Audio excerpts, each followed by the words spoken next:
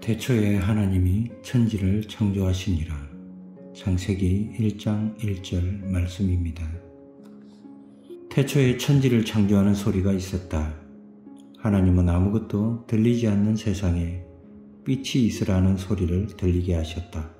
소리를 듣고 빛이 세상의 모습을 드러냈다. 하나님의 소리에 정하지 않고 응답할 때 세상에는 새로움이 모습을 드러낸다. 소리는 우리를 불러낸다. 빛을 불러낸 소리처럼 하나님의 소리는 우리를 불러낸다. 신년에서 들리는 소리에 저항하지 않고 따라갈 때 내가 만들어지고 우리가 만들어지고 세상이 만들어진다. 그러나 우리를 불러내는 소리는 하나님의 소리 외에 다른 소리도 있다. 세상이 부르는 소리이다. 세상이 부르는 소리는 행복과 안정과 부유를 추구하는 본능을 자극하는 소리이다. 그러나 세상이 부르는 소리는 마지막에 우리를 공허와 험으로 이끈다. 처음부터 공허와 험으로 오지 않기 때문에 사람들은 소리의 끝에서 들리는 자기 내면의 소리를 듣지 못한다. 세상이 부르는 소리는 마지막에 나의 내면에서 허무의 소리와 만난다. 그러나 하나님이 부르는 소리는 허물을 만나지 않는다.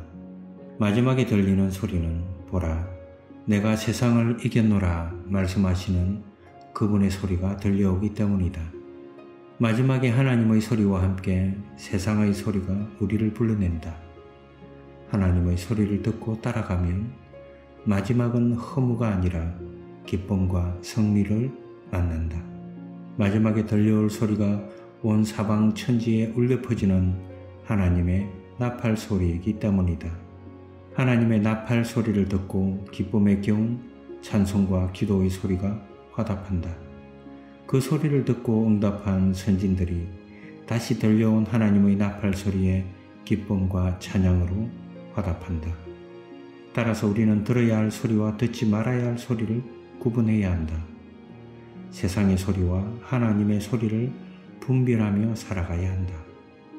기쁨과 즐거움을 약속하나 허무와 공허에 빠뜨리는 소리와 세상을 이기신 분이 부르는 소리를 구분해야 한다. 하나님은 태초에 사건을 만드셨다.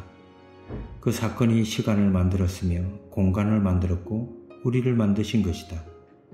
하나님이 태초에 하신 것은 우리를 위하여 광활한 우주와 무한한 시간과 아득한 미래의 처음을 펼치신 것이다. 우리를 위해서 하나님이 하신 거대한 사건을 생각해 보라. 하나님이 펼치신 공간과 시간의 사건이 우리를 만나기 위해서 기획하신 것임을 생각해 보라. 우리를 만나기 위해서 소리를 발하셔서 우리가 있어야 할 시간과 공간의 틀을 펼치신 것을 생각해 보라. 우리 때문에 하나님의 소리가 침묵과 어둠에 들려졌다는 것을 생각해 보라. 우리는 우연한 존재가 아니라 하나님의 사건에 의해 만들어진 존재이다. 이제 우리가 할 일은 삶의 과정 속에서 들리는 소리를 찾아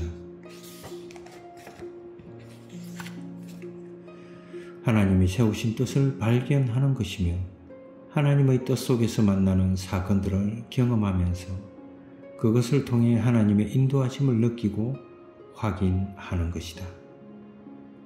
생각하기 1.